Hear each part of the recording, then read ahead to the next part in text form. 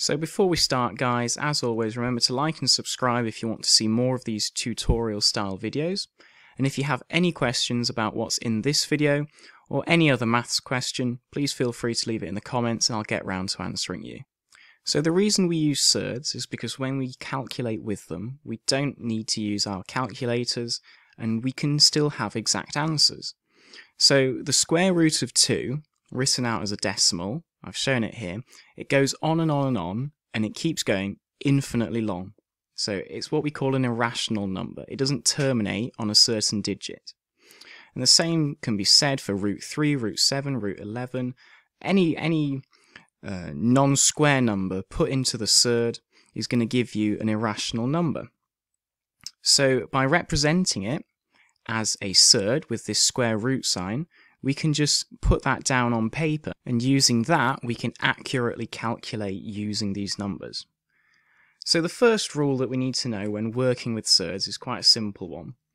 So let's say we have the square root of 49 and then let's square it.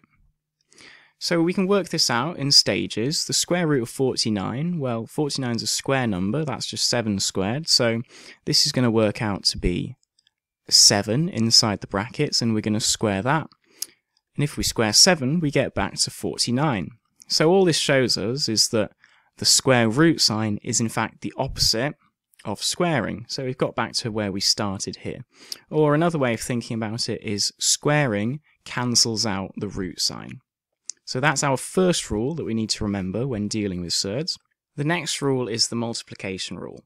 So this is an example here of how it works. Root 4 we can work out, 4 is a square number, so root 4 is going to be 2. And root 25 is obviously going to be 5. We can work this out now numerically, and that's just going to equal 10. Well, now let's think about how I could write the number 10 as a surd. So I'm going to need my, my root sign, and it's going to equal 10. What is the number that's going to go inside that root sign?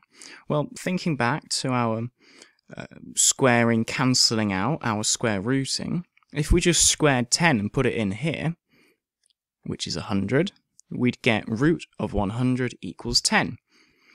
So this means that if these two surds equal 10 and this surd equals 10, then multiplying root 4 by root 25 should equal root 100. So here we can spot our rule, our multiplication rule in effect. This 4 multiplied by the 25 in fact gives us the number inside this combined root. So when multiplying roots together, we take our first number inside the root and the second number inside the second root and we can combine those into one root by multiplying the numbers together. So the sign in between the a and b here is a multiplication sign. So the next rule that we need to know is the division rule for surds. So again, using this as an example, let's work it out. The square root of 36 we know is 6, and the square root of 4 is 2. So we can work this out as 3.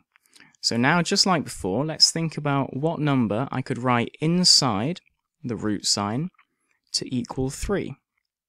So you've probably figured out that it's got to be 9, because the square root of 9 is equal to 3. So this means that, again, this root of 36 over root of 4 equals root 9.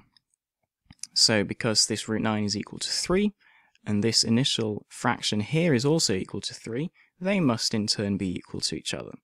So we can again spot the division rule here.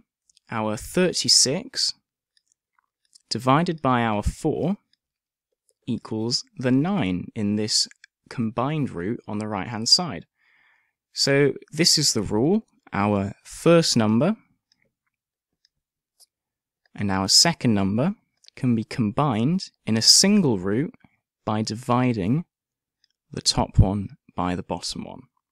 So root A over root B is the same as putting a big root across that fraction there.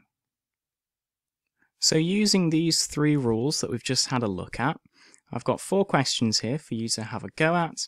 So pause the video, have a go at those, and I'll show you the answers. So here are the solutions to those four questions. Hopefully you got those right. And now let's move on to looking at slightly trickier problems. So you'll often come across surds as mixed numbers like this, where they have an integer in front of the root sign and a number inside the root sign. So all this means is that we have omitted this multiplication sign between the two numbers. So this actually is 2 multiplied by root 3, and this here is just 10 multiplied by root 12. So the reason we do this is these combined numbers are simpler to work with in calculations. So say I had 2 root 3 multiplied by 5 root 2. The way to approach this question is to think about the numbers and the surds, so the number part of the question and the surd part of the question separately.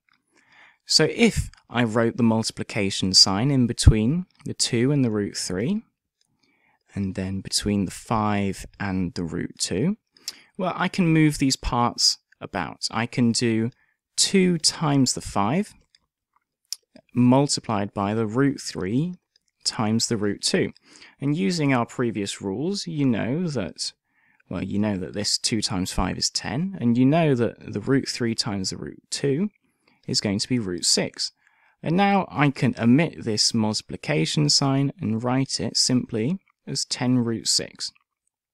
But of course, just looking at these two combined surds at the start, you can do this more or less in your head. You can do the number part multiplied by the number part gives me the bit in front, the 10, and then we combine the surds using the surd rules to get root 6. Now this also works with division as well. So here I've got 10 root 12 divided by 2 root 6. So the process works exactly the same. I've got 10 times root 12 divided by 2 times root 6. Now, I could mm, sort of rearrange these if, if I wanted to. I could separate this into two fractions, my 10 over 2, multiplied by my root 12 over root 6. And then I can work out this 10 over 2 is going to be 5, and using my division rule for surds, I know that this second surd is going to be root 2. So combining those, I get 5 root 2. So again, this process you can do in your head. Just do this first number divided by this first number gets me the 5, and then combine the roots into a single root as root 2. So again, I've written out these rules, this time incorporating an integer in front of our surds. And again, there are three questions here for you to have a go at. So pause the video and here are the solutions to those questions. So notice here in this first question, I got root 36 halfway through my working, and immediately I realized that this 36 was a square number, so I could write root 36 as an integer as the number 6, and so the answer worked out to be a nice whole number like that. So be careful when you're doing questions. Sometimes you'll come across root of a square number and you'll be expected to simplify that into an integer. So there we go. Those are the surd rules that we need to know for calculating exactly with surds.